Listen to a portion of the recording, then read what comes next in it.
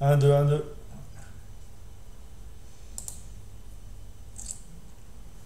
Salut à tous.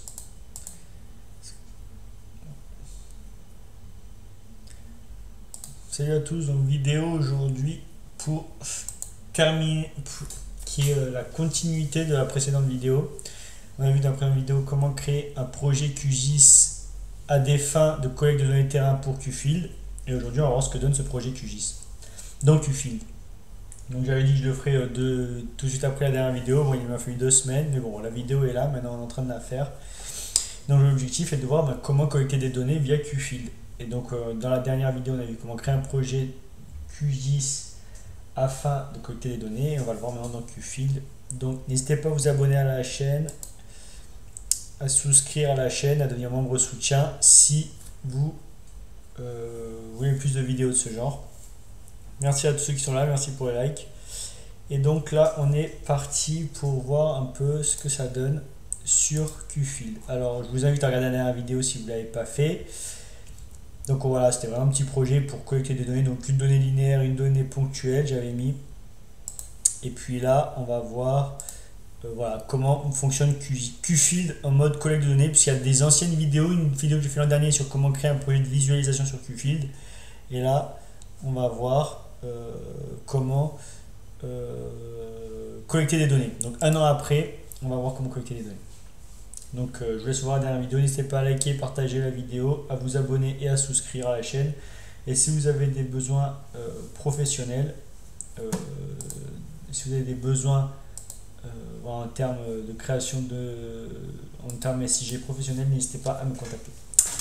Bon, allez, c'est parti, on est bon. Intégration voilà, c'est parti. Alors, donc QField est installé ici sur le portable. Il est euh, là. C'est parti. Je lance QField. Donc il y a des données de. Alors c'est un mode local, donc il y a des données euh, qui vont servir. C'est une application de collecte de données, donc les données à collecter sont au format HFI que j'ai créé dans QGIS et je les ai mis directement sur le portable avec le projet QGIS. Donc il me demande Open Local File. Euh, évidemment, c'est l'effet démo. Donc le, projet QField et les données sont sur le mobile. Et là, bon, je l'avais déjà ouvert par ailleurs. Donc là, sinon, faites Open Local File, vous allez chercher votre projet QGIS. Évidemment, le projet QGIS et les données sont dans un seul dossier. voilà. Donc mon application s'appelle Collect Sport. D'accord? Donc là, on a l'application sous les yeux. Si je clique ici, j'ai voilà les éléments, fontaine et track, et j'ai un OSM standard qui n'apparaît pas. Donc ça, c'est dommage, mais c'est la vie. Euh, là, je suis en mode visualisation, là, je suis en mode édition. Mode édition, mode d'édition, là, la mode visualisation. Est-ce que je fais toujours quand j'ouvre QGIS Donc, vous avez l'outil de mesure, vous pouvez ouvrir un autre projet, vous avez les paramètres. Je vais toujours dans les paramètres. Ce que je fais, c'est que je fais maximiser l'attribut de forme. Pourquoi? Quand je vais créer une, quand je vais créer un nouveau élément que je modifie une la table attributaire sera en mode vraiment euh, optimisé pour euh, votre outil de collecte. D'accord? Donc utiliser la caméra native. Euh, là c'est Fast Edition, voilà. Donc euh, j'ai mis l'échelle. Euh, voilà, vous pouvez définir les éléments de la barre de recherche. Là je m'en sers pas vraiment. le positionnement, j'ai mis internal device. J'ai mis moi toutes les informations de position. Voilà. Et enfin les variables, bon ça s'en sert pas, il y a aussi dans Voilà. Donc ça c'est l'application. Ici, j'ai le module de recherche. Si je veux rechercher des données sur l'appli, mais je ne l'ai pas utilisé. Ici sont les logs entre guillemets. Donc ça, c'est pour faire des recherches. Voilà, je cherche des recherches dans la table attributaire. Je zoome, je dézoome. Et ici, c'est si je souhaite me positionner en fonction euh, de la localisation du portable. Et ici sont les éléments GPS qui est en bas que j'ai rajouté. Donc ici, j'ai mes couches. Donc fontaine, je clique dessus, zoom to layer, reload data, show feature list. Allez, on va euh, show feature list. Donc là, on peut voir toute la table attributaire qu'il y a dans, mon, dans ma donnée. Et euh, voilà, là j'ai les tables attributaires en mode visualisation. Donc photo, j'ai un champ photo et là un petit champ nature. Vous voyez la comme la table attributaire prend tout l'écran, par quoi? Parce que j'ai mis maximize euh, les, la taille de la table attributaire. Zoom to feature, delete feature, voilà, je peux faire ce que je veux. Une fois que c'est bon, je clique ici, je reviens en arrière, je reviens en arrière. Je reviens ici, donc là c'est devenu, je maintiens enfoncé, appuyé. Si je fais show on map, là hop, la, la donnée disparaît. Si je retiens, euh, si je maintiens appuyé et je mets show on map, tac, la donnée réapparaît. D'accord Classique. Autre point, si je clique sur, donc voilà, donc ça c'est pour afficher des affichés, donc je fais pareil sur le track, si je maintiens enfoncé, voilà, si je zoom to layer, reload data, start tracking. Euh, je sais pas ce que c'est, mais ça serait intéressant de voir. Est-ce que je peux faire ça aussi pour lui? Non, les points non, mais les lignes, oui, je peux faire start tracking. Donc maintenant, ce que je fais, c'est si je clique sur un point en particulier, bim, j'ai la table, la donnée, l'identifiant, la, table attributaire qui correspond à cet élément. D'accord? Donc là, on est en mode visualisation classique. Maintenant, ce que je veux, c'est pouvoir éditer la donnée, c'est-à-dire alimenter cette donnée. D'accord? Si vous voulez des fonds de carte, vous pouvez les faire euh, créer vos propres fonds de carte en ligne. Et je vous montrerai aussi, l'instant venu, comment on fait pour créer vos fonds, de carte hors ligne pour euh, ou même pour des applications euh, web ou mobiles web. Donc, je vais pouvoir modifier les données. Je vais ici et là, je, clique et je passe en mode édition. Et là, je suis en mode édition. D'accord? Vous voyez que la souris a changé de curseur. Je suis sur la couche fontaine, donc je peux créer des points. Donc là, je suis sur la couche fontaine. Je vois les coordonnées XY qui apparaissent. Merci pour les likes. N'hésitez pas à vous abonner, à souscrire à la chaîne. Ouais, ouais, je fais ma petite pub. Si vous avez des besoins professionnels, n'hésitez pas à contacter. Donc le curseur a changé de tronche. Et là, je suis en mode édition de Fontaine. Je clique sur un point, bim. là, j'ai mon petit formulaire qui apparaît. Public, privé. Et la caractéristique, là, c'est le champ photo. Attention, c'est le champ photo. Si je prends une photo. Alors là, bon, je suis pas vraiment sur mobile. Mon mobile n'a pas de caméra. Donc, si je clique ici, vous allez avoir la, possibilité de prendre une photo en direct et de la stocker dans la table attributaire. Sinon, vous avez la possibilité de chercher dans la galerie. Donc, je vais chercher dans la galerie. Voilà, j'ai pas de photo et QFID, évidemment, à fermer. Non, je crois pas qu'il est fermé là. Si, il a fermé. Donc là, le champ photo vous permet soit de prendre une photo en direct, soit d'aller chercher dans votre galerie. N'hésitez pas. Là, je ne prends pas de photo parce que voilà. Mais euh, voilà. Bon, quoi qu'il arrive, le point a été rajouté. Vous voyez, il a rajouté le point. Il est ici. L'identifiant est auto-incrémenté. Et si euh, je clique là et ici, je vois les éléments que j'ai mis dans la table attributaire. OK Donc, tac, je reviens en arrière. Est-ce que je suis toujours en édition? Je repasse en édition. Donc voilà, j'ai ajouté un point. Et bien évidemment, vous voyez que la légende est dynamique. Puisque j'ai mis euh, public privé, j'ai mis true, elle est passée en bleu. Je vais mettre un autre point, je vais, mettre, je vais laisser false, elle va passer en vert. D'accord? Pourquoi? Parce que j'ai fait une analyse catégorisée sur, euh, voilà, en rouge, pardon. alors là, vide, c'est euh, rouge et false, c'est vert. Donc là, je clique dessus, vous voyez, voilà, propre, je valide. Et euh, si, je clique de, si je reclique sur ce point, je vais pouvoir modifier ce point. D'accord? True, false, false, tac. Et donc, euh, voilà, c'est apparu. Ah merde, non, ah non, faux, faux, c'est pas apparu, j'ai pas modifié la donnée, c'est apparu, il m'en a mis une autre. False, c'est vert. Donc maintenant, ce que je veux, c'est pouvoir modifier une donnée. Pour cela, je vais ici, je vais ici, je maintiens enfoncé, je fais Show Feature List. Et là, je vais au hasard lui, le 8. D'accord?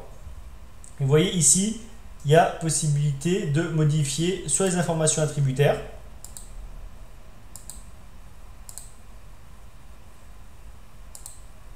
soit la géométrie. Et si je fais géométrie, je retourne ici sur la carte et je le replace. Et je fais OK. Et voilà. Alors, est-ce que j'en ai toujours 3 Oui. Donc j'ai possibilité, si je clique alors, stop editing, voilà. Si je vais, je vais cliquer sur ce point-là, alors là, c'est add feature, donc on va pas add feature, on va pas en rajouter une, bon, il m'en a rajouté. Ah ça c'est pas mal ça, c'est-à-dire quoi qu'il arrive, si, dès que je mets le point, même si je valide pas la table attributaire, il me met le point. Ça c'est le fast editing, c'est pas mal du tout. Euh, si j'avais pas mis fast editing dans les paramètres, eh ben, il aurait fallu que je remplisse toute la table attributaire pour fast editing pour que le point soit validé. Les fast editing, juste je mets le point, c'est bon. Donc, je repasse en mode euh, édition, table attributaire,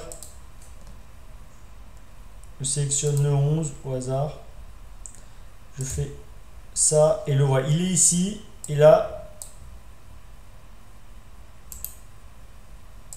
je mets là, ok, et normalement, il y en a déplacé un. Alors ça c'est quoi ça? Alors ça, qu'est-ce, qu'est-ce, qu'est-ce? Ah, Là c'est, ah, Vertex Tool, ça c'est pour déplacer, j'imagine. Euh,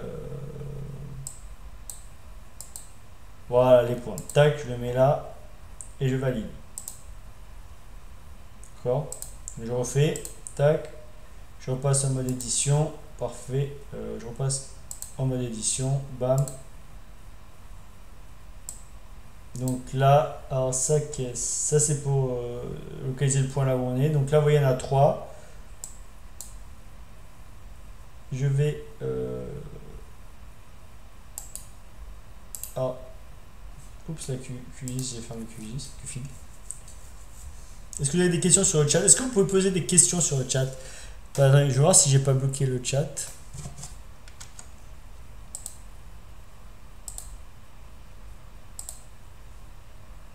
Non, tout le monde. Parfait. Si vous voulez poser des questions, n'hésitez pas. Si je vous en foutais en fait. Et donc voilà, donc là, voilà, j'ai mes points. Donc là, je suis en mode visualisation. Je clique sur ce point je fais les trois petits points, euh, pas encore. je fais, et là, si je clique sur le A, je passe en mode édition. Donc là, je peux, je peux mettre propre, voilà, false, je fais OK. Je peux mettre une photo si je souhaite. Donc sur le terrain, vous pouvez prendre une photo directement. Et une fois que j'ai fait ça, je, vais, je repasse là. Et voilà. Donc là, c'est pour les points. Donc si je veux supprimer un point, donc par exemple, celui-là, on va, on, va, on va aller ici sur ces trois points. Je vais cliquer sur le rouge. C'est le 9. Donc, ok, je me souviens que c'est le 9. Et là, je vais sur la table attributaire. Euh, tac, je maintiens enfoncé. Je fais Show Feature List. Je vais sur le 9.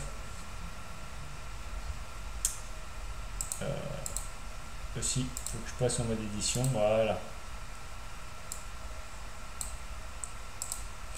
je vais sur le 9, tac, et là je le déplace. Donc le 9 était là. Voilà. Il me semble que c'est celui-là. Et euh, Est-ce que je le mets là? Non, je vais le mettre plus vers là. Tac. Alors là, c'est si je veux, ouais, normal. Ça, c'est normal, parce que voilà. Donc, on va refaire. Hmm. Le 9, je vais le mettre plus vers là et je vais valider. Tac, et voilà. Parfait. Et il y a les trois petits points. Et je peux encore... Euh, est-ce que je peux modifier lui par exemple? Tac, non, non, add feature. Non, non, non. Voilà. Et donc voilà, et puis je peux valider. Donc là, j'en ai modifié un. Je reclique ici. 9. Je prends nœud 8 Je clique ici. 8, on voit qu'il est là. Et je le déplace, je vais le mettre plus vers là-haut. Et je fais OK. Et voilà. Et donc là, je peux déplacer les points. D'accord? Donc ça, c'est pour créer des, une couche points. Maintenant, si je clique ici sur track, track, là, je vais pouvoir ajouter, non pas, vous voyez, ici, je fais pas, non pas un point, mais une polyligne. Une ligne ou une polyligne. Alors là, ce que je vais faire, c'est que je vais cliquer là. Donc topologie, Édition topologique activée ou de main levée. Moi, ce que je veux, c'est édition topologique. Donc, je, je clique là, là, là, là. Alors, attendez. Ce que je fais, c'est que je viens sur le track. Super. Est-ce que je peux créer Alors, je vais vers stop editing. Voilà, tac. Parce que je te suis en mode point. je crée ma petite ligne. Une fois que c'est bon, je, je clique en bas, hop, pareil, sécurité, voiture à proximité, nom du track, test, caractéristiques, idem pour les photos. Vous voyez, la longueur, c'est calculé automatiquement. Pourquoi? Je vous, je vous laisse voir sur l'ancien, euh, la précédente vidéo, on peut, on peut mettre des champs calculés automatiquement. Et je peux mettre une photo. Je fais OK, hop, la couleur, vous voyez, est différente. Pourquoi? Sûr ou pas sûr. Donc ça, ça c'est un élément. Donc voilà. Et si je veux euh, modifier, donc voilà, c'est ça première chose. Et si je veux modifier cette donnée, Je vais ici, show feature list. Je vais sur test 1. Je fais ça. Et là, vous voyez, les vertex se sont mis euh, en exergue. Et je peux, si je souhaite, prendre ce vertex et le déplacer là. Prendre ce vertex et le déplacer là. Prendre ce vertex et le déplacer là. Et une fois que c'est bon, je fais OK et c'est bon. Si je supprime un vertex, je clique dessus. Voilà. Vous voyez, et là je peux faire moins et hop, je supprime. Une fois que c'est bon, tout est bon. J'ai modifié le vertex. D'accord? Je retourne, je fais track, track, show, donc test 1 c'était, et là si je clique, je peux modifier euh, les éléments, euh, voilà, test 1, je peux rajouter, euh, là je fais, je clique ici et je modifie la table attributeur. Voilà, hop, je valide. Voilà. Donc vous pouvez prendre des photos. Là, j'ai mis un champ photo. Je vous laisse voir dans la précédente vidéo comment faire pour mettre un champ photo. Mais si vous cliquez ici, vous pouvez prendre une photo. Vous rapportez une photo de votre galerie. C'est au choix. Et voilà. Et voilà, et voilà, et voilà. Et donc, vous voyez, je peux continuer à collecter des données sur euh, mon appli QFIL.